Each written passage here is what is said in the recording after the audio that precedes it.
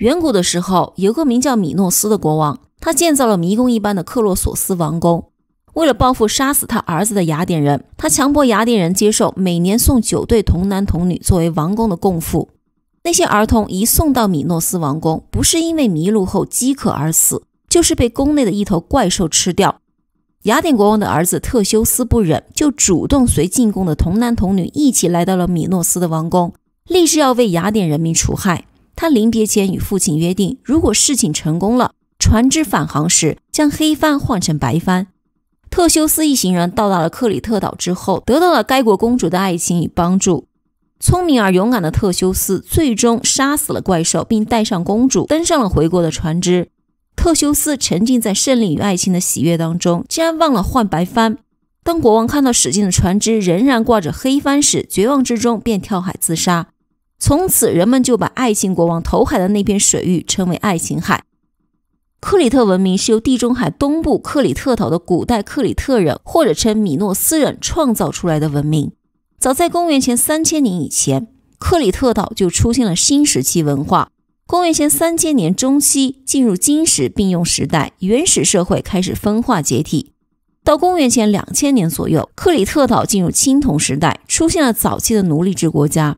克里特文明分为早王宫时代和后王宫时代。早王宫时代大概是在公元前两千年到公元前一千七百年，是克里特文明的初始阶段。当时奴隶制城邦刚刚兴起。在岛屿中部的米诺斯、法埃斯特、马里亚等地，先后出现了王宫的建筑，宫殿都是用石料砌成，有宽敞的大厅、宫室、仓库、作坊等。青铜制造技术已经相当先进，手工业和农业已经分离。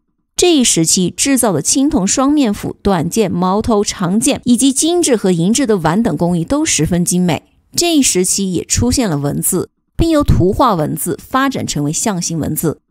后王宫时期是公元前一千七百年到公元前一千四百年，是克里特文明的繁荣阶段。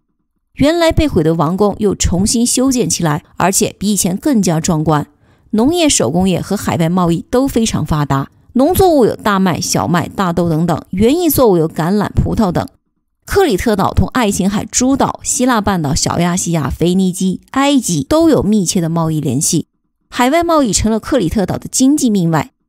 另外，这个时候还出现了书写古代克里特语言的音节文字线形文字 A。后王宫时代，克里特岛上的城邦比以前大大的增加。此时的克里特岛有百城之称，百城之中，米诺斯的势力最为强大，称霸于克里特岛，并控制了爱琴海中的一些岛屿。已经完整发掘出的米诺斯王宫，占地两公顷，一般多是三层建筑，并且有供水、排水等设备。宫中设有宝殿、寝宫、神坛、粮仓、地窖、牢房、作坊、武器库等等，结构复杂，有迷宫之称。王宫坐落在爱琴海南端的克里特岛的一座小山的缓坡上，占地面积两万七千平方米，是一组围绕着中央庭院的庞大而复杂的建筑群。王宫内大小房间约有一千五百间，宫内楼阁密接，楼道走廊迂回曲折多变。加之许多厅堂馆室在设计上的不对称性，外人很难知道这座错综复杂的王宫的布局。整个王宫以中央庭院为中心，中央庭院长约六十米，宽约三十米，是宫内最大的庭院。中央庭院靠西边的楼房是国王办公祭祀的场所，办公集会的厅堂和祭祀大厅金碧辉煌，豪华富丽。此外，还有储藏酒油、收藏财物的陶罐库房。中央庭院东边的楼房是国王以及王后的寝宫、接待厅以及学堂、作坊等生活机构和设施。宽敞的浴室内，精巧的陶制浴盆以及冲水设备。从宫外十千米远的山上，把泉水引入宫内的陶制管道和抛物线型的引水管道内，无不闪耀着古代科学技术的光辉。在王宫的墙上发现了许多的壁画，虽然历经几千年，但是它的色泽还很鲜艳。在国王宝殿和王后的寝宫内有表现国王贵族活动和集会以及自然景物的壁画。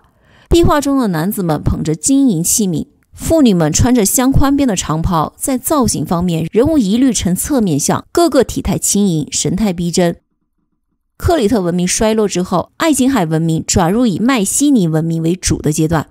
好了，今天就说到这，下次见。